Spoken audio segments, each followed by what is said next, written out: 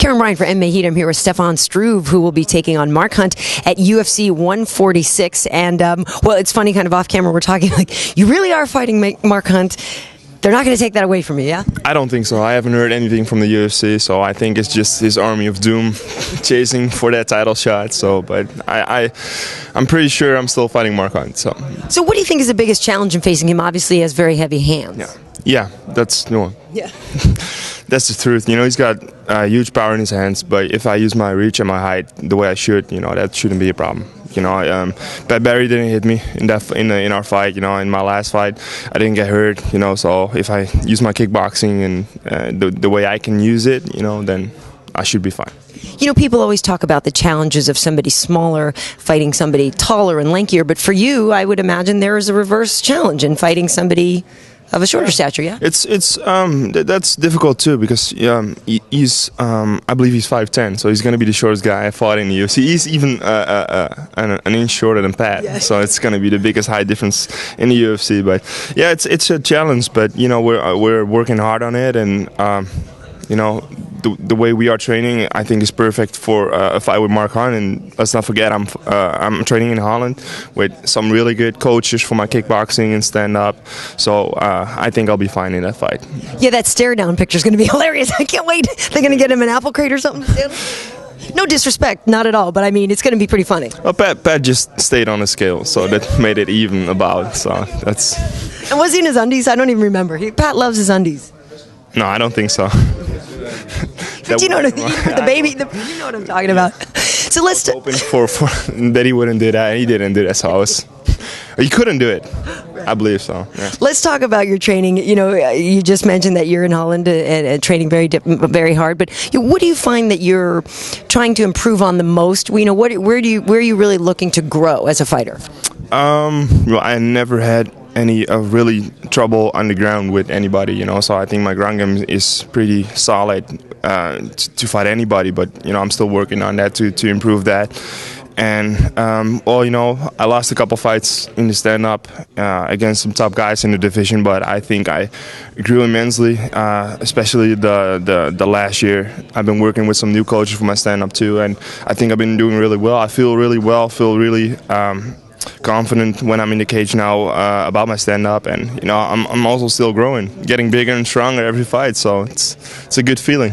Which is incredible. That's the first thing I said to you when I said, "Man, you've grown. How much weight have you put on?" I know at one point you told us your plan was, you know, to keep getting bigger and, and adding muscle weight. Yeah, I was um, the last time I weighed, um, I believe it was Monday uh, in the morning, and I was 263 in the morning with one meal, so that's about 268 in the evening, I believe. So that's good.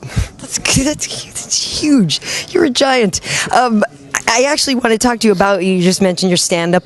You know, you're somebody who to probably the detriment of your friends and family's heart conditions takes a beating sometimes before giving one back. So, you know, people have said, oh, Stefan sometimes is a slow starter or kind of needs to get not that you need to get cornered or you know put in that kind of position, but that you you know you're you're a comeback fighter and that. So is that uh, a choice? Is that something that just happens? Is that something you want to change, or is that how you're going to always be a, as a fighter? It is something that has happened a couple times in the UFC, but if you look at my my record, I got um, I believe 33 pro fights and 20 eight wins, and most of my wins are in the first round. So slow start, I don't think so. You know, it just happened a couple times, and um, um, you know, pe- people keep saying that, but I really don't believe that. That I'm a slow starter, and I'm planning to prove that. And just uh, what I said, man, I, I grew immensely in the stand-up, especially the last year. and I, I, plan to use that against Mark and just show that you know I can fight with anybody on the feet. So, and so obviously I know why you came to Sweden, you know, for the UFC show. But but um, have you been here before? Are you familiar with the place?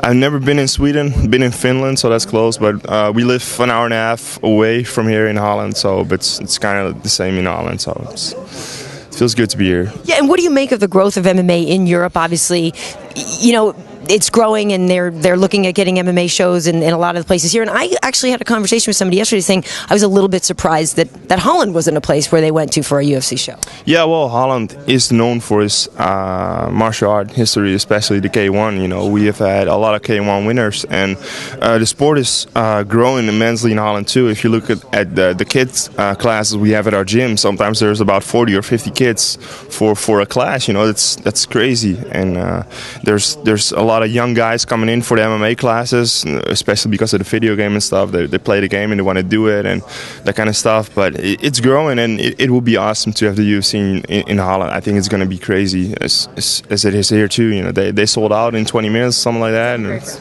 yeah, so that's good. Do you have an opinion on who's going to take the main event, Alexander Gustafsson or Thiago Silva?